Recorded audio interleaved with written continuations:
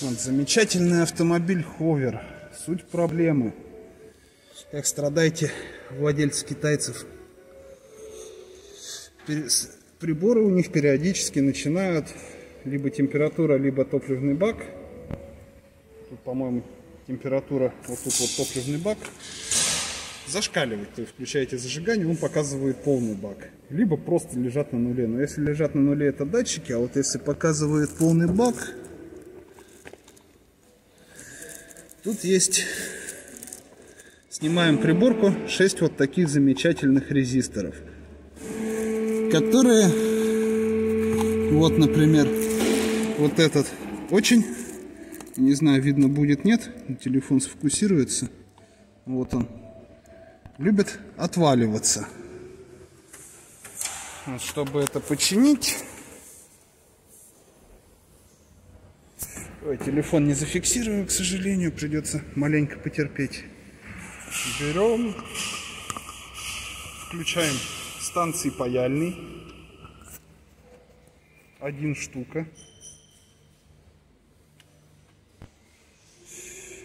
Берем флюс паяльный.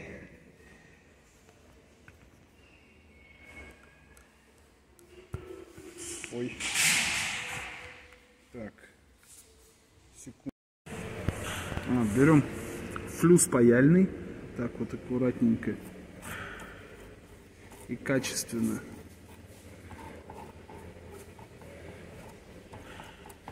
Обмазываем. Оп, о. Вот сейчас видно, что он отвалился. Вот, включаем паяльничек. Все, пущай греется. И просто вот это вот все дело пропаиваем. Берем, пропаиваем.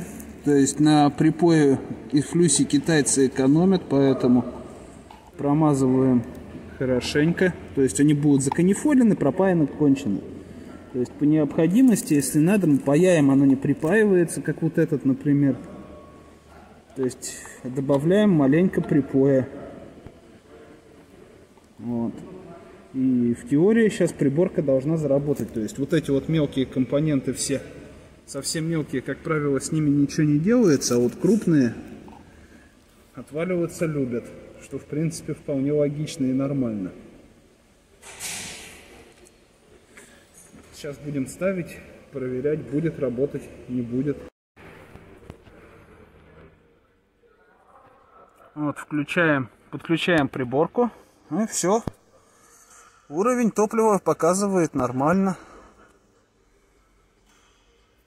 Все, все приборы лежат, все хорошо.